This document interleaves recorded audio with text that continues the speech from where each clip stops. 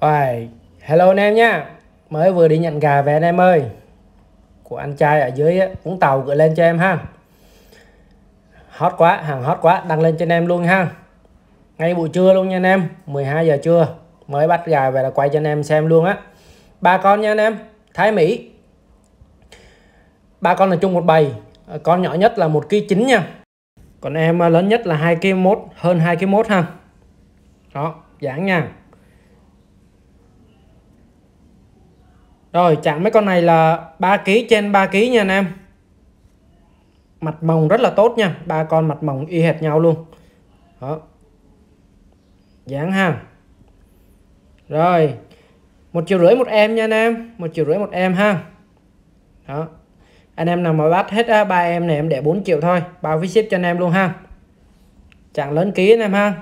Cỡ này anh em mang về thả vườn là ok lắm rồi ha. Cà thái thì anh em biết rồi, cực kỳ cho bò dễ nuôi. Thả lan cũng ok luôn rồi. Và cái thứ hai là cái dòng thái chum phon này của bên em thì cũng cản độ rất là lâu rồi.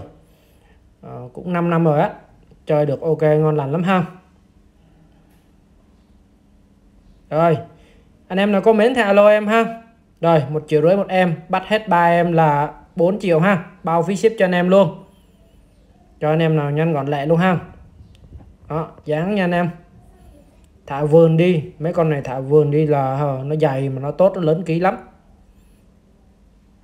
Ừ, mấy con gà thái này thả vườn nó cơ bắp ghê lắm nha anh em. Nó màu lên ký lắm.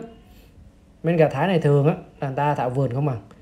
Rồi úp lại khoảng tầm 2 tuần 3 tuần một tháng thôi là anh em nuôi là anh em đá luôn á.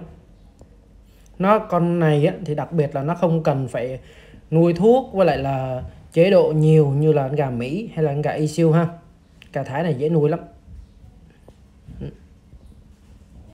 Con bạn người Thái ở trước làm chung công ty với em á ông nói mấy con gà Thái này ở bên ờ, xứ của tao cũng có hai loại nha anh em. Một loại là gà đòn và một loại là gà cựa. Đó mà thế tụi mày nhốt dữ quá chứ còn bên Thái tụi tao á, thả không à. Thả vườn đi vòng vòng vòng vòng đó. Thoải mái lắm mày cứ thả đi. Nó dày lắm nó tốt lắm. Mà đúng thiệt em để ý là mấy con gà này anh em cứ thả vườn đi anh em ơi nó dày á, dữ lắm. Nó dày mà nó có nước nuôi á. Gà nhất là gà nòi mà thả vườn á. Nước nuôi nó nhanh lắm. Là anh em ờ, mang về nuôi là mau đá, ha. Mau cự. Rồi, chào anh em.